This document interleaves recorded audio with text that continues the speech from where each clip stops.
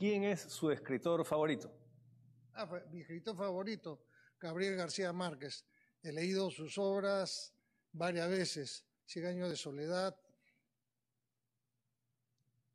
El Tercera amor pregunta.